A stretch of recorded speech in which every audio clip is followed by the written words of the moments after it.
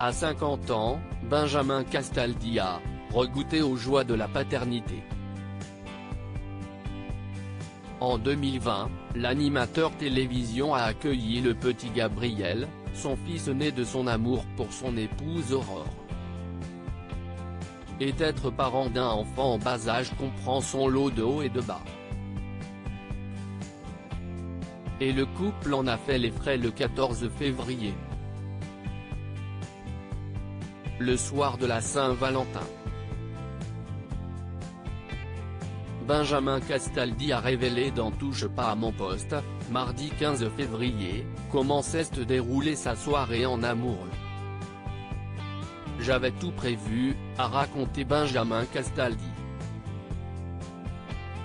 Un hôtel et un repas.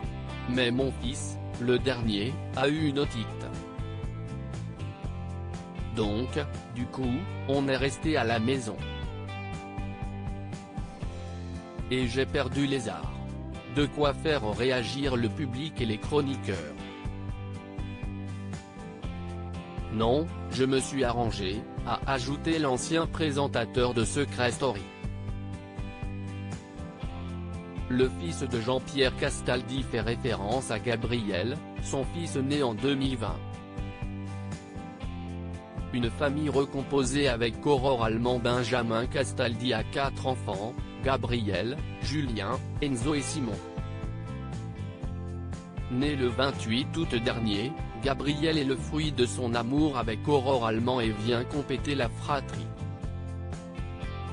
Les parents ont choisi d'appeler leur petit garçon Gabriel Angie Thomas Castaldi. Un prénom très significatif, puisqu'Ange et Yves sont les prénoms des grands-pères de Benjamin Castaldi et Thomas, celui du père d'Aurore Allemand.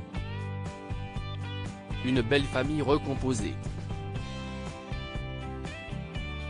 Fier, Benjamin Castaldi partage de nombreuses photos de ses garçons. Et bientôt, la famille va s'agrandir, son fils Julien va devenir papa à son tour à l'âge de 25 ans avec sa petite amie Kiara. Loading Widget